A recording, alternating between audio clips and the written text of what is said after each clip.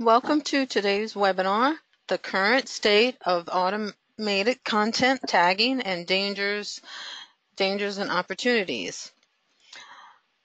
Anna? Greetings and welcome to this joint DCMI ASIS webinar. I am Anna Baptista, the chair of DCMI. It is my pleasure today to introduce the joint webinar series and today's presenter and topic.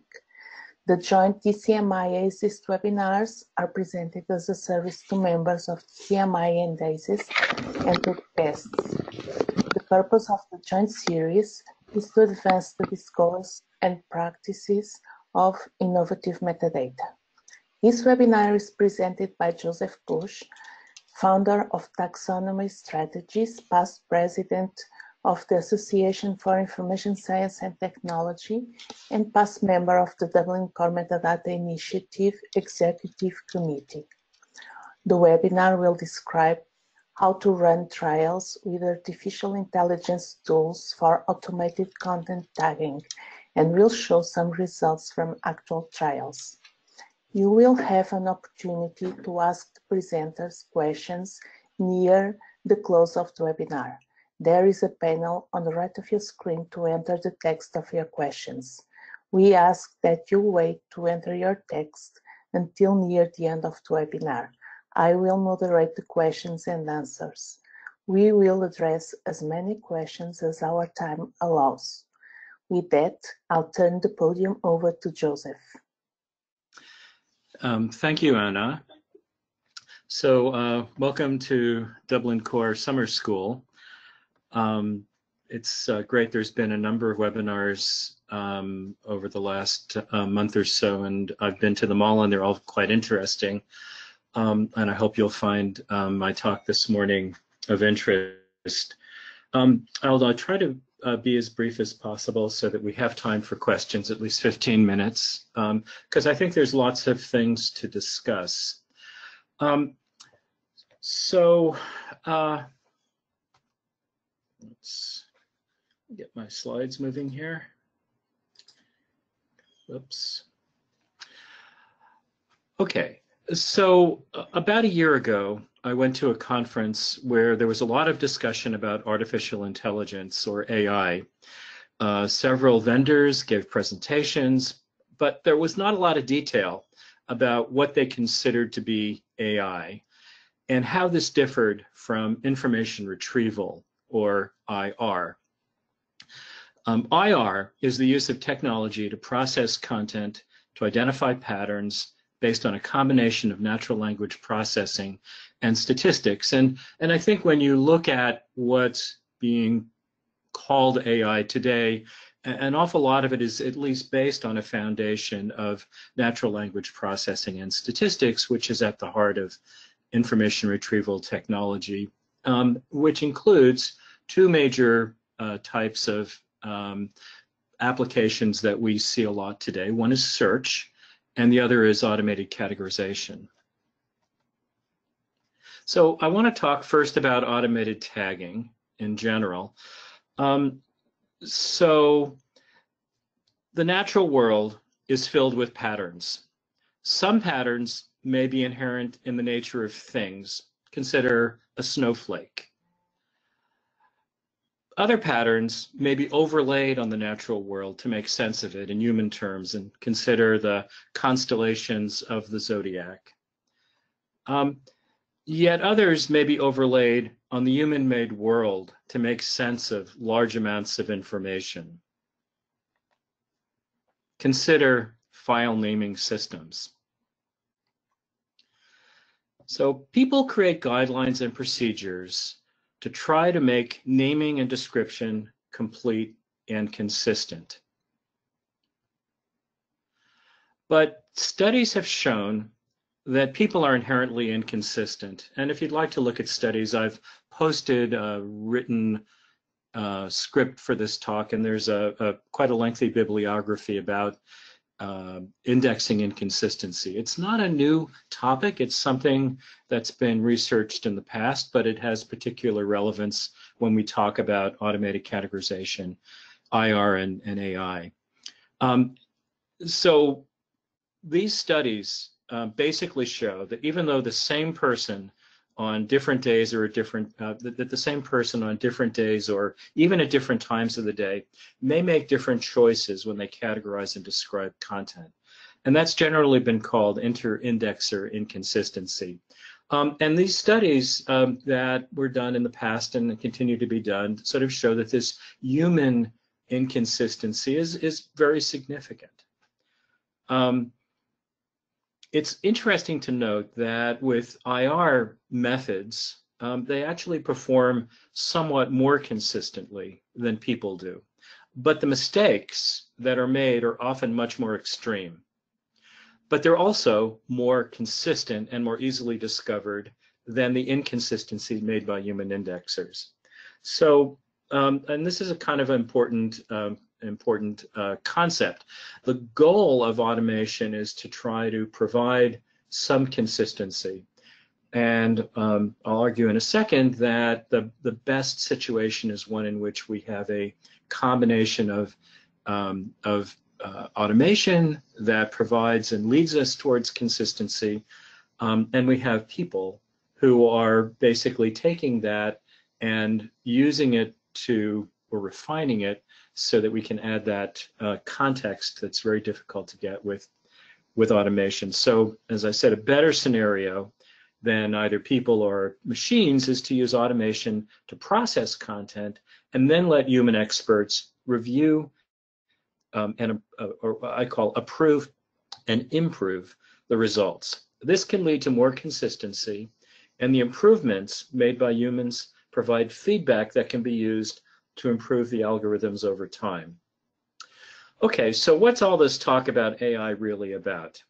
Uh, I think that much of what's called AI is really automation, not autonomous machine intelligence, which is technically what AI is, although applications may sometimes appear to be smart.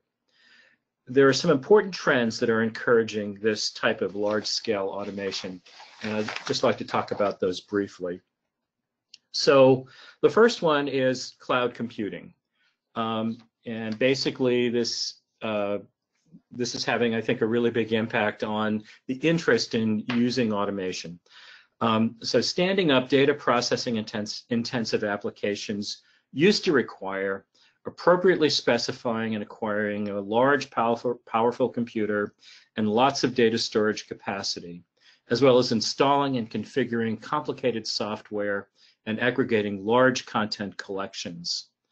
All of that infrastructure had to be maintained. Today, you can subscribe to cloud services that provide whatever capacity you need, and it can be extended. The second trend is that there's readily available IR software as a service. Um, you know, one of the best known ones is IBM Watson. It's a well-known example of so-called AI software as a service. And some of it is uh, uh, truly AI, and some of it is automation. Um, IBM basically offers a bunch of solutions and tools, including IR tools, um, as what's currently called the IBM Cloud. Uh, formerly, it was branded as something called Bluemix. Um, other vendors, large and small, offer software as a service that includes information retrieval services. And some of these are General Electric has a service called Predix. Um, there's a there's some small companies like Lexalytics that I'll talk about a little bit later. Um, there's a company called Data Harmony um, um uh, uh, out of um, um, Albuquerque, New Mexico. Margie Hlava, who's very active in Dublin Core, is the president, and they've been doing this for a long time. Another company is Expert System um, Mondeca, PoolParty, and Smartlogic. Uh, and some of these are, are, are people who are very active in the uh, Dublin core community. Um, some are US, some are European. They all now offer cloud-based services or software as a service. And the third trend is what we call the Internet of Things or IoT.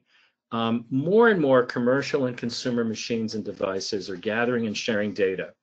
This may be a big industrial machine, such as a GE turbine in a power plant, or a Rolls-Royce jet engine, or a Samsung smart refrigerator, or an Amazon Echo or an Apple iPhone or a Dell laptop computer.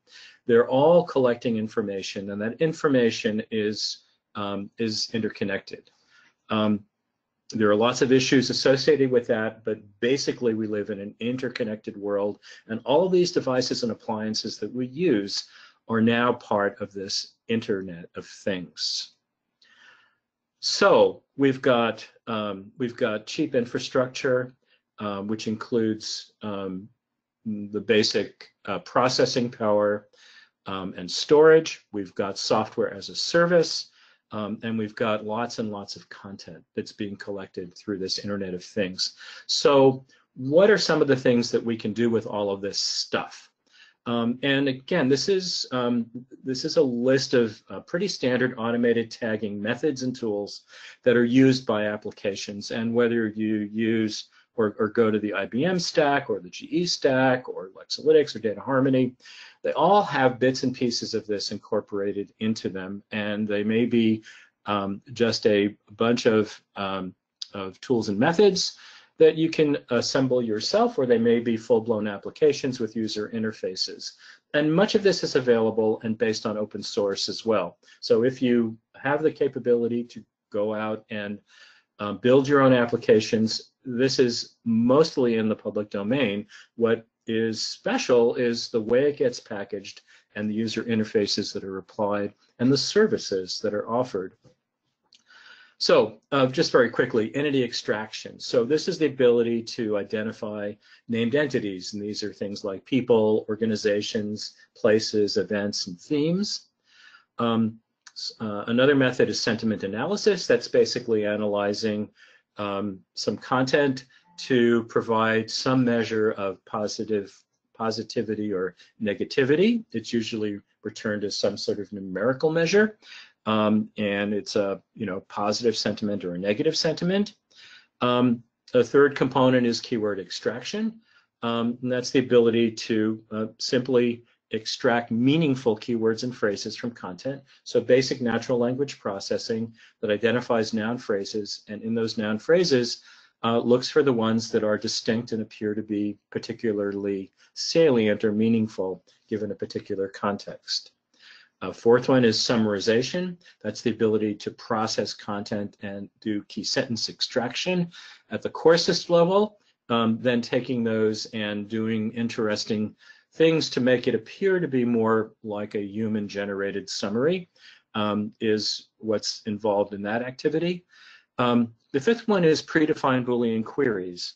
And this is a method to generate rules that are based on uh, predefined topics um, that would allow you to um, uh, assign relevant descriptors from a, from a, predefined set to a particular content item. So this is really difficult, and this this is similar to basically doing subject indexing against a predefined set of categories. This is something that um, that artificial intelligence is particularly bad at, um, uh, partly because it's difficult to find um, uh, uh, clear and distinct examples um, that uh, can be used. So we'll talk a little bit about this predefined Boolean query method a little bit later. Um, there's uh, training, um, uh, trained categorizers. That's where you have a set of discrete examples that are used to identify predefined topics fully in a fully or semi-automated way.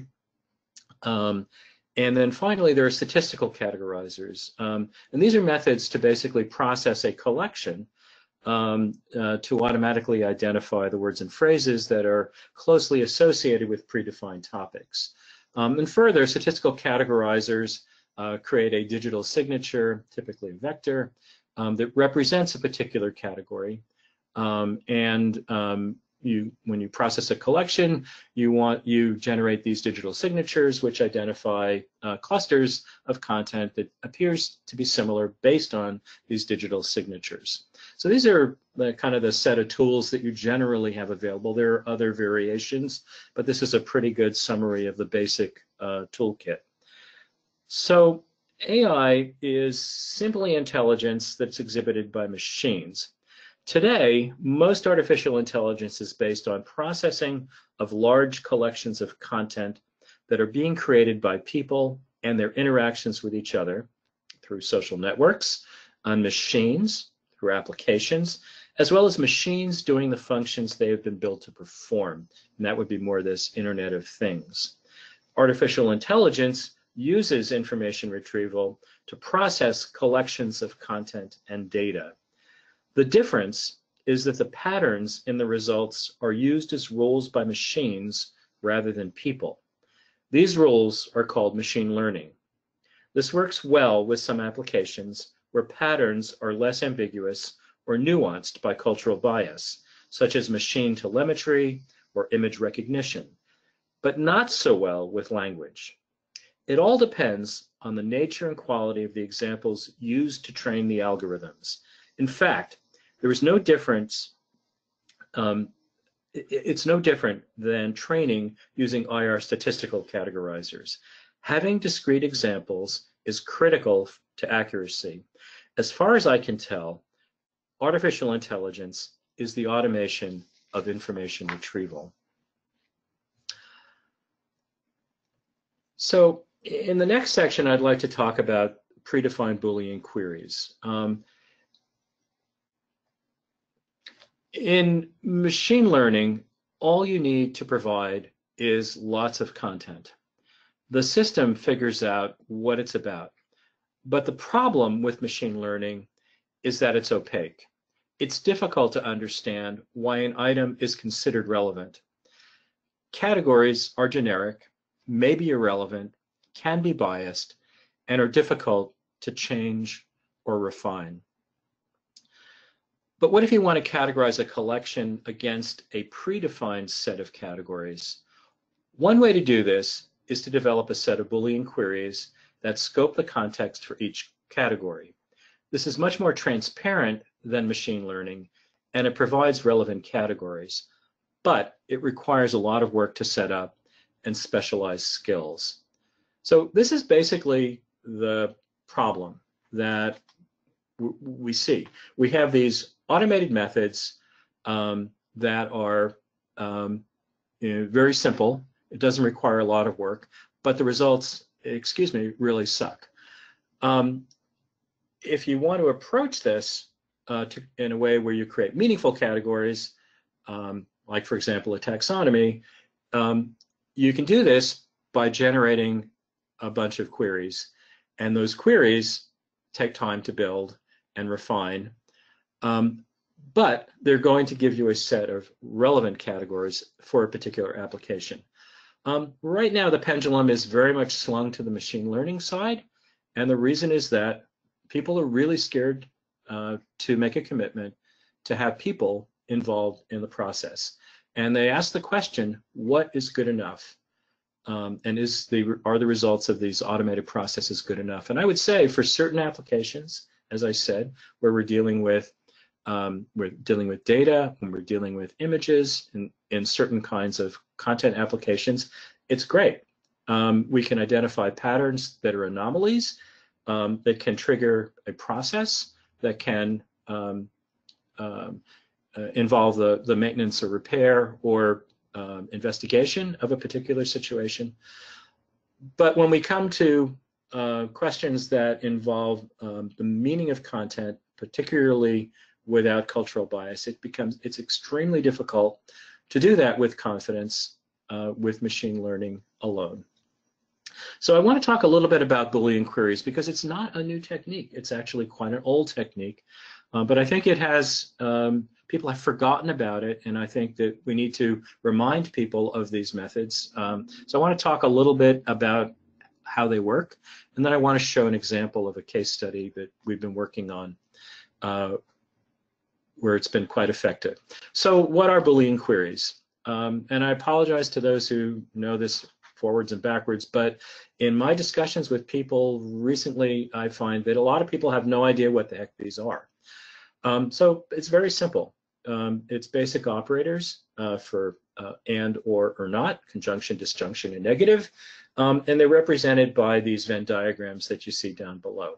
That's it. It's simple logic, um, applying it to queries. It's very simple, actually using it um, to, as a syntax to develop uh, some meaningful sets of expressions or semantics is takes quite a lot of, of skill, but the basic concepts are extremely simple. Boolean queries are often used with proximity search. Um, proximity searching is a way to search for two or more words that occur within a certain number of words from each other or within a section of a document. Um, one thing about proximity operators, so Boolean operators are pretty standard. Um, everybody knows what they are, and when they're implemented, they op they have a, a, a, fairly standard syntax.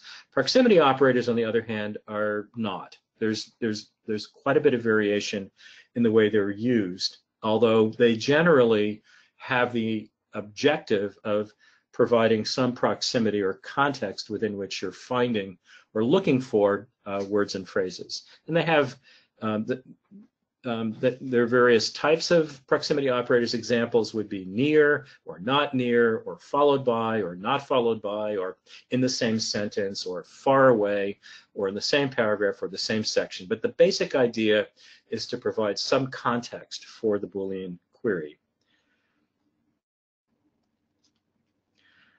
And a few more things. Um, uh, query syntax for Boolean queries also includes bounded phrases, usually with quotations. So that lets us identify um, noun phrases like health insurance with quotations. Um, a second thing that we usually have available is truncation, right, left, and internal. These days, that's fairly standard. Um, so that lets us um, take a um, uh, to do stemming or to identify stemming explicitly rather than to have it be done automatically by the system. Um, it can be done with an individual term like child with an asterisk, which would retrieve child and children, um, or uh, something that's a bound phrase um, like pre-existing condition or conditions. Um, and then the third uh, concept in the query syntax is nested statements. So that's the use of parentheses to basically create um, more complex expressions using Boolean, um, the Boolean logic. So for example, uh, here's an example of a, a statement uh, where we want health insurance, but we want it in the context of children um, or pre-existing conditions. So the next thing I'd like to share with you is just a, a, a little bit about how to create a Boolean query. Um, so um, we've been doing a lot of this, and it's something that, again, it's not taught very much. So we've been trying to come up with some simple guidelines on, on how to do this. Um, so the first thing is to do what I call brainstorming. Um, you know, make a list of 10 relevant words and phrases. And then use that list to identify 10 relevant items, articles, videos, websites, or so on, uh, by you know searching, uh, doing an online search using Google Search or Google Scholar or a newspaper or uh, some more interesting resource in the U.S. The Library of Congress Chronicling America has um, an enormous archive of newspapers, so you can um, you know take these relevant items and do some research. Um, and the goal here is to actually find and build an example of the content that's to be retrieved by these particular concepts. And I picked 10 um, for a particular reason. I'm trying to encourage people to, um, to think about uh, how to bound a topic. Um, and one way to do it is to say, I want you to just come up with kind of 10 concepts that are relevant to this particular topic. You could pick 20, you could pick 25, you could pick 100, but 10 is a big enough to challenge you, but small enough to be bounded as an exercise. Um, the third thing to do is to review those 10 relevant items and write down the words and phrases that provide a context for the theme or topic or concept. And the, the trick here is to uh, basically have people look at content items and consider where the salient information about what it's about and why it's important is located. For example, look at the titles, look at the headings, look at any summaries that exist, introductions and conclusions. Um, these are all um, uh, kind of standard zones in a content item where you might find information that's particularly salient and descriptive about the context of that item. The fourth step is to note any named entities, people, organizations, events, laws, and so on that might be closely associated with the theme or topic. Um, so I've got an example of gun violence down below, but whatever the concept. So um, what we're doing now is basically building up a semantic network, starting with 10 concepts, um, looking at content items, analyzing those items um, generally, and then zooming in to look at uh, some of the specific types of named entities that might be associated with those concepts. In the fifth step, then we've got all this stuff. We want to consolidate these terms. So we want to look for duplicates and synonyms, as well as concepts that you might want to combine even if they're not really synonyms. We call those quasi-synonyms. Um, you want to consider relabeling the term in order to ref reflect a concept or a category, and also consider and note any relationships between terms. You want to prioritize those terms uh, basically uh, go through them and rank them from, you know, either using a scale of one to three or one to five, or simply rank them um, uh, in, in, a totally ranked order. Um, it doesn't have to be, um, um uh, you don't have to rank the entire list from uh, one to whatever. Um, you can go through and, and just rate them as high, medium, low go through some process of prioritization. Um, it's an extremely useful activity um, when you're trying to consolidate terms into concepts. Um, and then for each of the concepts that you've come up with, write a query. Um, so things like plurals are usually um, handled automatically by natural language processing, um, but anything that's uh, uh, doesn't follow uh, basic stemming rules, probably need to specify. Um, and then qualify the scope for each term. Basically, consider writing a scope note. What do I mean by this concept?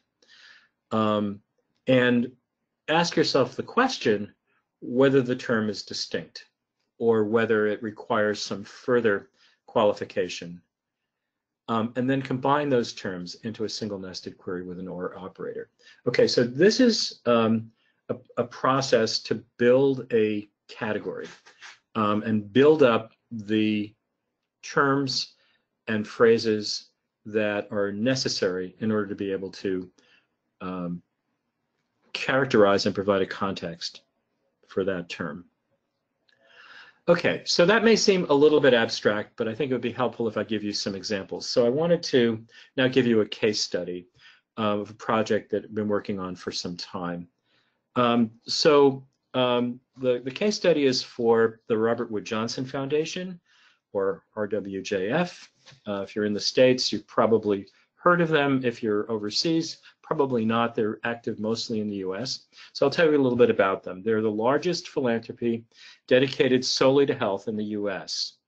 Um, we've been working with the Robert Wood Johnson Foundation to develop an enterprise metadata framework and taxonomy to support needs across areas including program management, research and evaluation, communications, finance, and other areas of their organization. We've also been working with the foundation on methods to apply automation to support taxonomy development and implementation within their various information management applications. So last year, we developed a pilot categorizer for four predefined topics that describe some of the focus areas for the Foundation's programs and grant making. And those areas were childhood obesity, disease prevention and health promotion, healthcare quality, um, and health coverage. Um, and we used a tool called Lexalytics, uh, or a company called Lexalytics. Their tool is called Semantria. And the goal was to determine the feasibility of building predefined Boolean categorizers for these very broad topics um, that are listed at the bottom of the screen here. Um, and I would point out that not only are there are they broad topics, but there's also, um, as you might imagine, a difficulty in trying to develop queries that would dis discreetly and distinctly be able to identify the different context of, for example, healthcare quality versus health coverage. As people, we can understand, or as humans, we can understand those differences, but when we work simply with language, um, it can be quite complicated. So the the the goal of this um, prototype was to try to determine how difficult it would be to scope the context for each category and how accurate and comprehensive those um, categorizers would be. So um, the testing process um, was to identify a test collection of content items with known correct topics. And we focused on um, a set of, um, of 400 short form items, which were summaries um, uh, that were published on the Robert Wood Johnson Foundation website. Um, uh, and um, we uh, we also did a separate um, um, pilot using uh, what we call long form assets that came out of uh, institutional repository. I'm not going to report on that today, um, but I'm going to focus on this 400 um, short form assets that were um, either summaries of journal articles or or what they call briefs, which are issued briefs. Um, the, the, the content was basically just titles and summaries, um, and, it, and they were um, pre-selected to represent one of these four categories. So we built up Boolean queries for the four target Robert Wood Johnson Foundation topics using the method described in the previous section. This was done without any special tools, just a text editor. Then we cut and pasted them into the Semantria web user interface. Um, Semantria validated the query's syntax and either successfully loaded them or returned an error message, which we needed to resolve. Eventually, each of the four queries was successfully loaded. Uh, short form items were then categorized using the Semantria for Excel plugin in this case, results were returned and evaluated in Excel. So basically, this particular tool has a web interface, and in that web interface, you build the queries. They call them configurations. Um, and what we're looking at here on the screen is a predefined query for health coverage. So you can see it's a fairly complex set of words and phrases that uses Boolean logic to provide specific contexts for these. So it's obviously a lot of different sort of concepts such as healthcare coverage, um, as well as uh, I think we find uh, different parts of it that are related to health insurance that are included in this particular category at the foundation. Um, now this is what we did in this prototype. I'm going to report at the Porto meeting next month about um, actually operationalizing this, and a big part of that process was to take apart this kind of complicated query. This was a um, kind of a hack, um, but had to take this apart and do it in a more uh, componentized way uh, and then assemble those into these queries so that it's much more maintainable. But this was a prototype, so we were trying to do this quick and dirty, um, and this is what the results um, looked like. So what happened? Overall, the results from both test collections and user interfaces had an 89% precision, which means that 89% of the time when we use these queries and ran them through and ran the content items through this um, tool, um, we received the right result, meaning that we got the right category, the one that we knew the content item was in. And 11% of the time they were they were incorrect. Um, but um, only 67% uh, of the items actually returned a, a, a category. So we had four configurations or four of these queries. Um, and uh, when we ran the content through it, only 67% of them returned a result. So 33% of them ended up being uncategorized. Um, and, and, this is a pretty standard um, uh, kind of a, a result. Um, there's a direct relationship between recall and precision in information retrieval.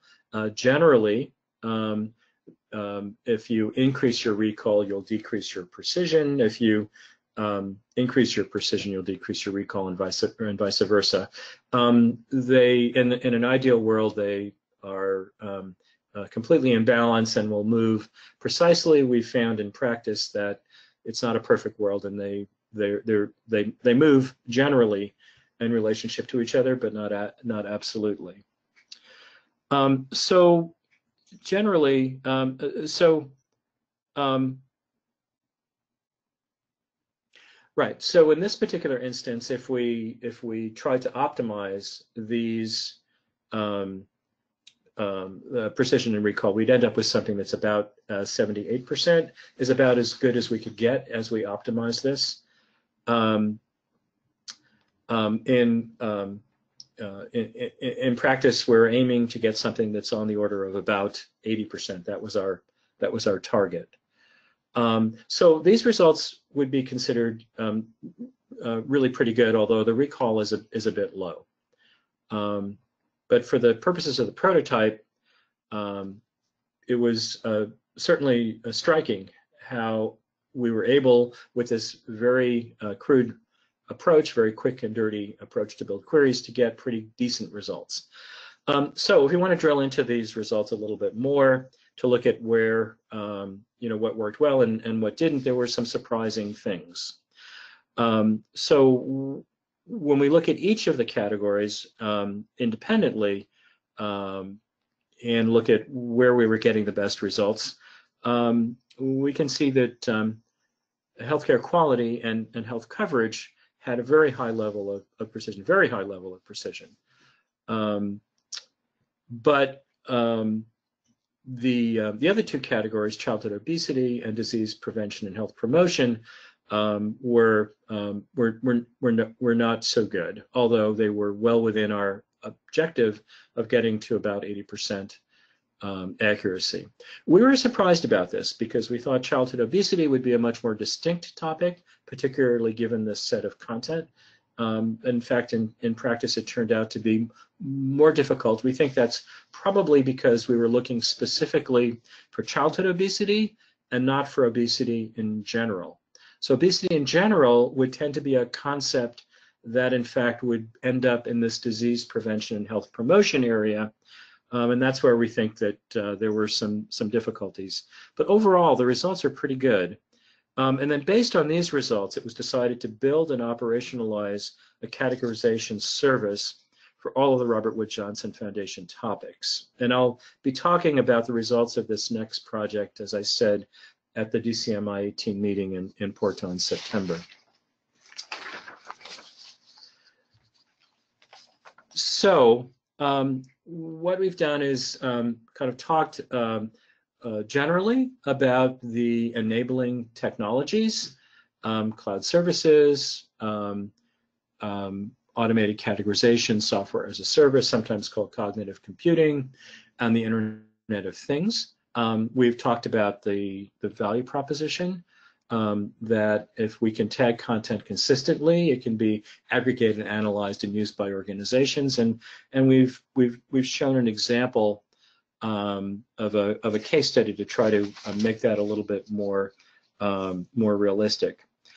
So what I've also said is that much of what's being called artificial intelligence is based on natural language processing, or NLP, and information retrieval methods.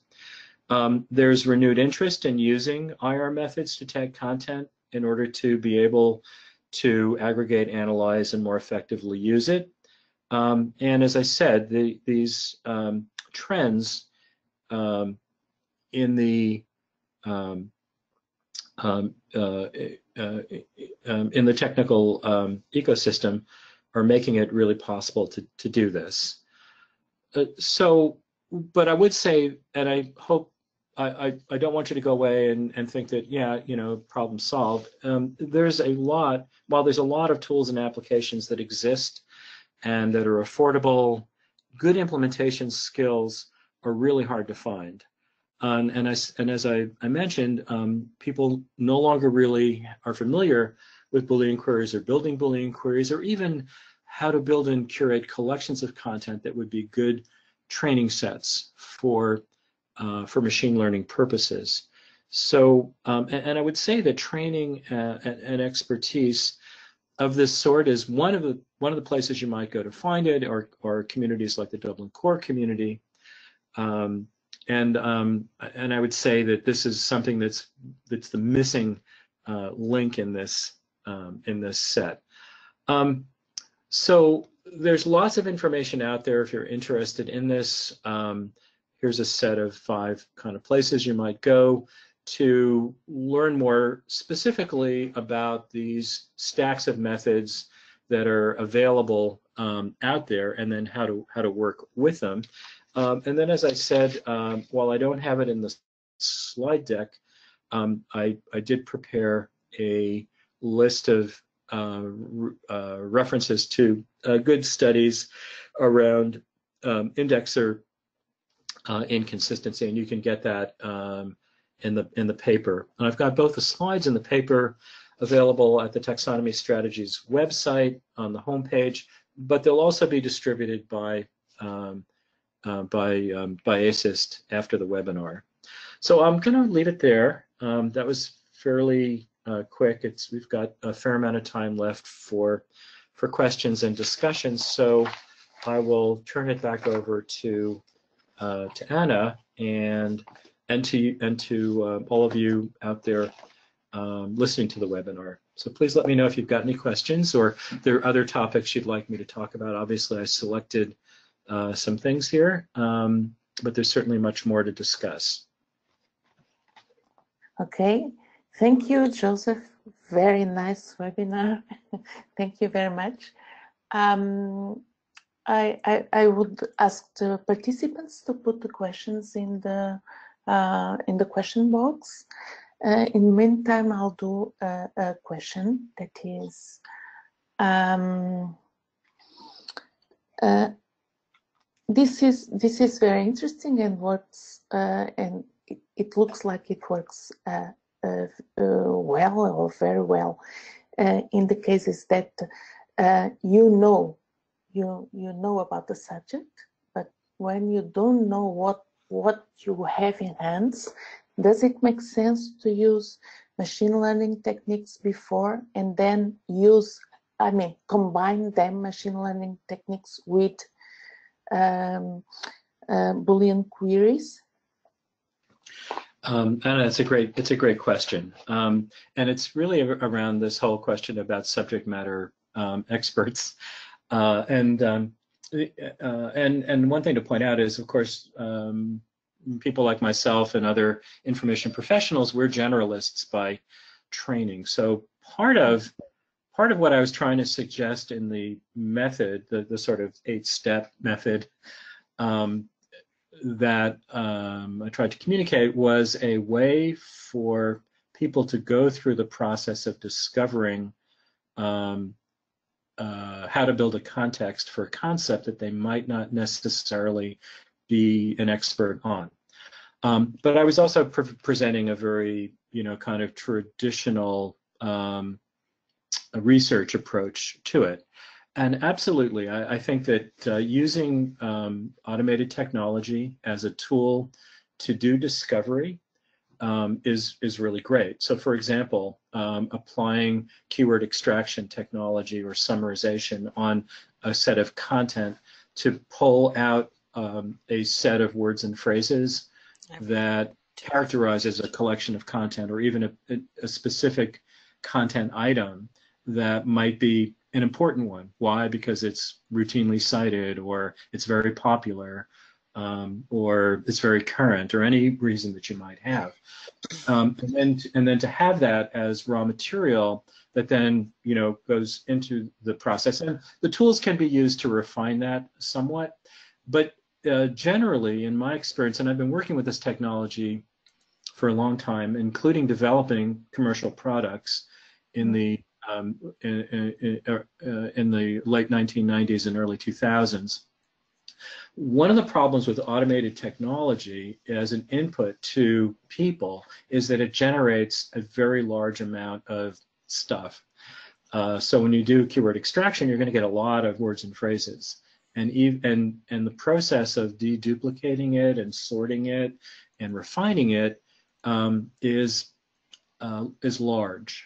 Um, so um, while using automation to help you uh, provide a context or to get started, um, it's uh, it tends to generate a lot of content.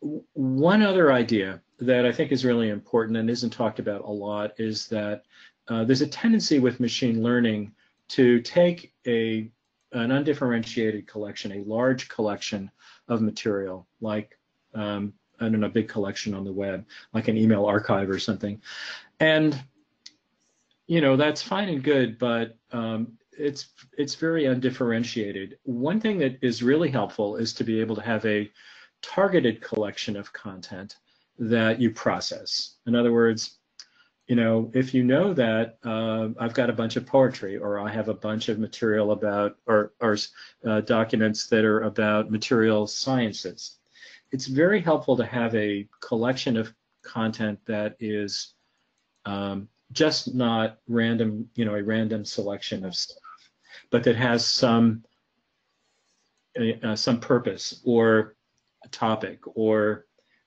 or something. I don't know. So that that's something that I think is is is often not discussed when we talk about machine learning. There's a tendency to say, "Give me anything, and I'll give you something." And I think that's not necessarily uh, a smart thing to do. And I'll be talking about this some more in Porto as well, because there's some unintended consequences of working with material that has not been curated. Okay, thank you. Uh, we have we have many questions here. Let's Good. let's see if we can address them all.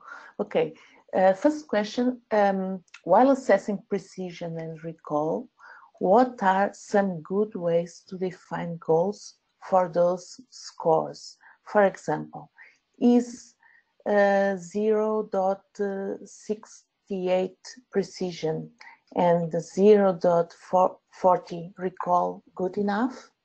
What will I miss if I accept this result?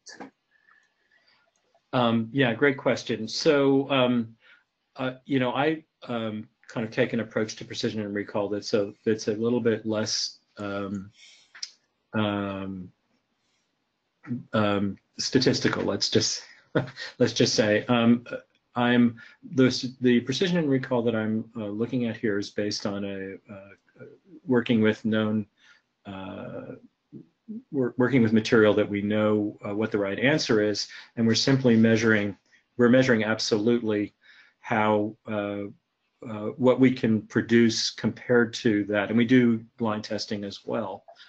Um, so the the the particular statistical measures that you mentioned, I can't really comment on because that's not the way that we approach this.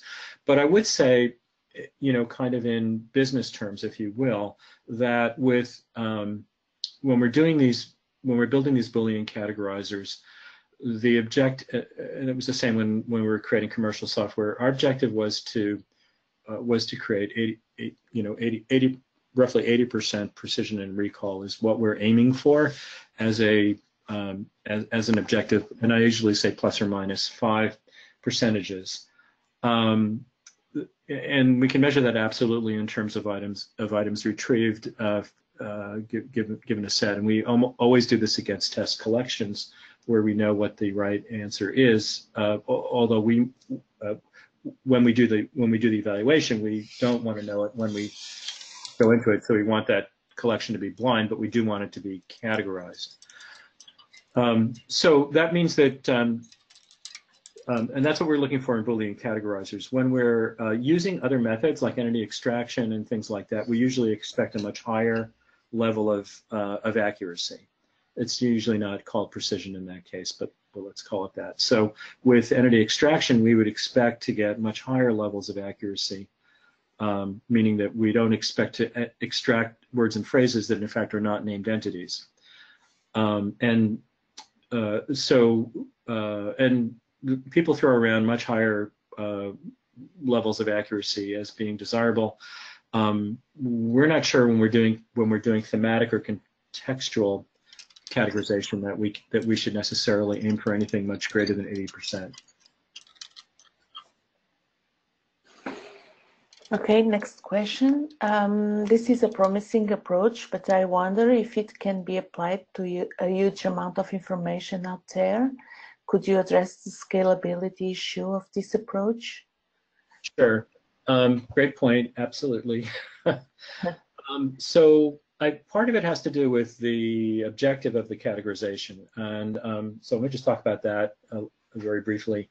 So the goal here is to create a way to be able to um, take a collection that is otherwise indexed and, and searchable by keyword and be able to provide some filters on that. So we're generally looking for broad categorizations. Um, and by broad and broad categorizations are um, much smaller sets of concepts than than the kind of subject headings that we've tended to have or indexing schemes in the past.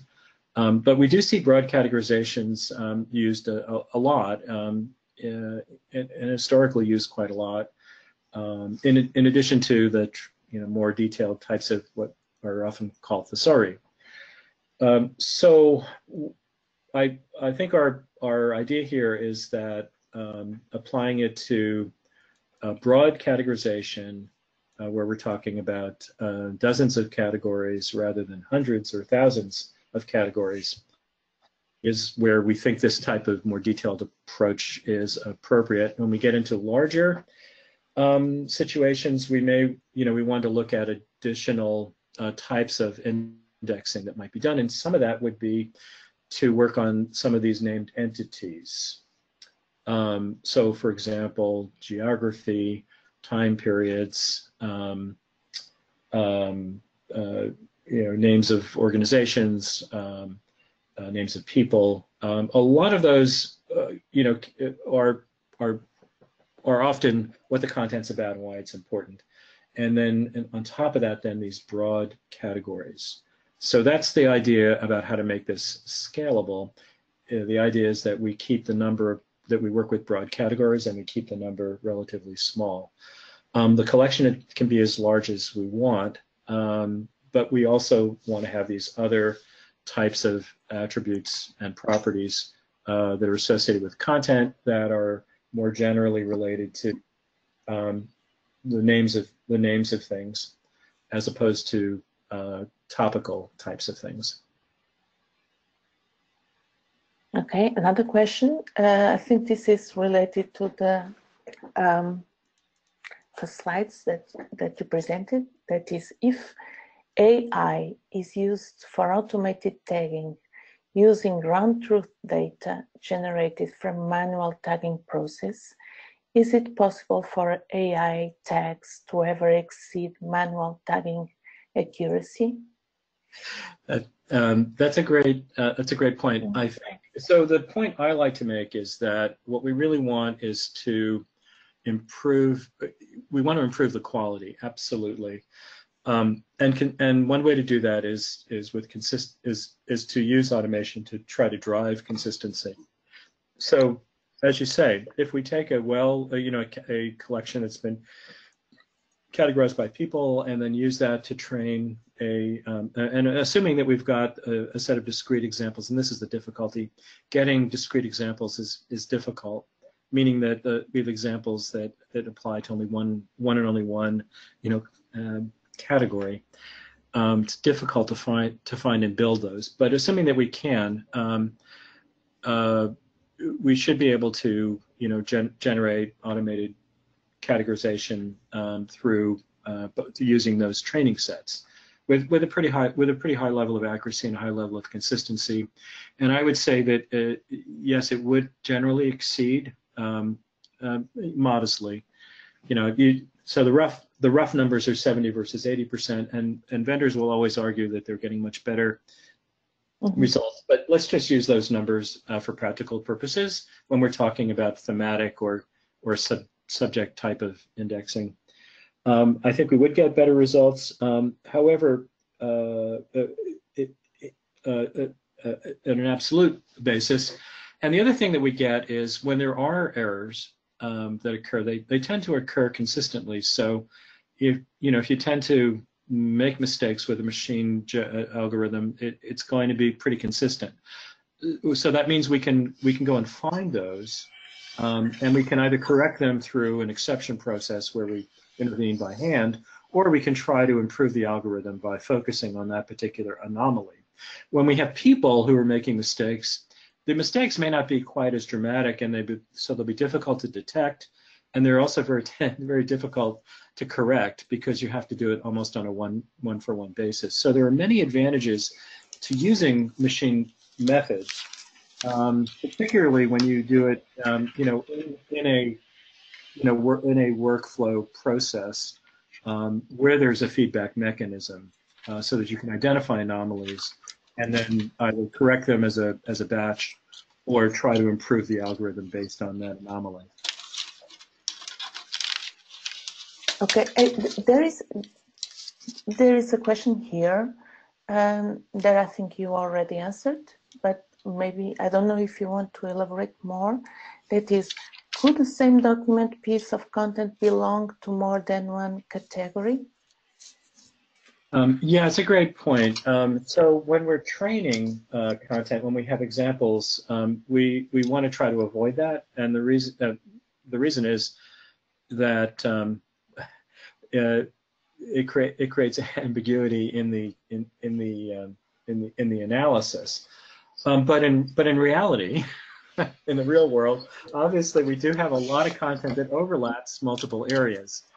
Um, so a couple of things to say. Number one, um, when I uh, work with people, uh, people about categorizing content, I always have the challenge: Can you choose one category over another? Now, this is a bit different than the information professional approach. But I always challenge people to, see, to ask them: Is there is one one of these categories more relevant to this content item or more appropriate for this content item than the other. Um, and to try to make that distinction if at all possible. Um, and if you think about it historically, when we did subject indexing um, in the past, there was a there were two principles. One was, you know, kind of you want to characterize the content overall, and secondly, you want to um, not necessarily, you don't necessarily want to over-index it. Um, so I just want to point out that that while yes, content of course can fit into more than one category, the process for arriving at that decision should be uh, a conservative one, I believe, where if at all possible, you should always be trying to make a distinction between which one is most appropriate. And the reason is that I really think these categorization systems are not intended to absolutely, you know, be the only way in which we uh, use this content, but rather they're a part of that, of, of a constellation of methods that are used to work with this content. So, so key idea, it's important to prioritize which is more important there are lots of different ways that we might implement this in a particular system by having primary and secondary categories. But yes, you're right. Content often is about more than one thing, and but we need to be careful when we make the decision to characterize that content and not take the opportunity to say this is really mostly about this as opposed to that. And this raises many, many indexing issues. I, am mostly putting this out there for thought rather than as an absolute answer. Okay, so now uh, at the end we have um, two questions that are uh, related to to the sources of your data. One is asking for a, a reference of uh, the the question is uh, what was the paper you referenced that indicated the inconsistency of indexing? Any chance you can get a copy of a reference? So um, uh, the second one is uh, on slide overall trial results uh, of overall trial results. How did you find incorrectly categorized content? Those of 11%. Did you have to look at each result to determine if it was correct or not? Um, okay, so um, the first question is easy about in, uh, inter-indexer inconsistency. Yeah, if you, um, I, have given a copy of the paper um, to Basist, and at the end of that paper, there's a, a, a, there's a footnote with a bibliography of citations around inter-indexer consistency. Um, if you can't find it, you know, send me an email. It's also available on the Taxonomy Strategies website, where this webinar is announced, and there's a link from the uh, from the paper, and you can download the paper. Um, but to get to the second question about how this 11% was correct, so um, so uh, the collection that we worked with had been pre-categorized, so we knew, uh, so we could validate um, the um, the results based on um, uh, uh, based on the fact that it was a predefined uh, that, that the content had already been categorized by by people and by the foundation. Uh, so the 11% correct was simply comparing what the automated method returned uh, with uh, what we had here. Now, in this example, um, I think we were we're, we're looking at a, a, set of four categories, so there are 400 examples. So uh, it means that 11% um, uh, of the time in those 400 examples, the results were either uh, false positives or false negatives, meaning that it either gave us a an incorrect category, one that was not the right one, or it didn't give us the um, the you know or or it uh, gave us a category that was um, and it wasn't the right category. So there's two cases. I'm going to talk about this. Um, I, would say um, a, a, lot more uh, in Porto because we when we when we took this to scale, or as we've been taking this to scale, we've been doing much more intensive um, testing with a with a much large well with a somewhat larger set. There's 12 categories total. Uh, and we're working with 1,000, 1,500 items in the test collection. Um, and we're getting, uh, uh, the, the talk will, will go into much more detail about, about that. But uh, specifically here, uh, while the actual collection was blind to us um, when we ran the results, in other words, we, we didn't build the queries based on this collection, the, um, the results were known. So we were able to um, identify which ones were correct and which ones were incorrect simply by comparing what the algorithm returned uh, with what in fact was the um, the value that had been assigned um, by the by the foundation. Thank you, Joseph. Just one last question for me, and it has nothing to do with with your webinar, but with uh, Porto. You you talked about Porto several times. So you are coming to Porto and you are going to present a workshop, is that it? Um, I'm actually um, presenting a session on categorization in which we'll be talking about um, the, um, the an update on this case study. Um, and also we'll be talking about some of the unintended consequences of, or, uh, well, what, we, what I call unintentional uh, bias in um, working with uh, content that hasn't been curated. Okay, so the conference, the Dublin Core Conference will be held in Porto this year in September from uh, the 10th to the 13th September 2018 in Porto.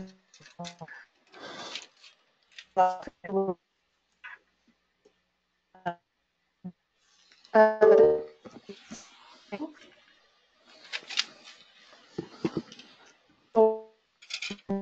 webinar. Let me see